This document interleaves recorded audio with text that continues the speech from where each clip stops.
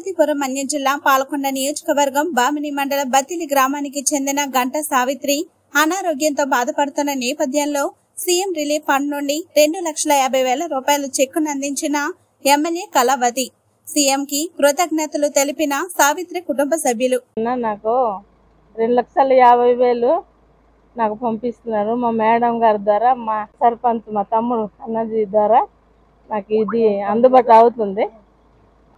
మీరు చేసిన మేలుకు మేము జగన్ నేను కాదు నా కుటుంబం నా పిల్లలు అందరూ. అందరితో సహా మేము తోడుగా ఉంటాము. ప్రతి క్షణంలో ప్రతి మాటతో జగనన్నకి సపోర్ట్గా మేము ఉంటాము.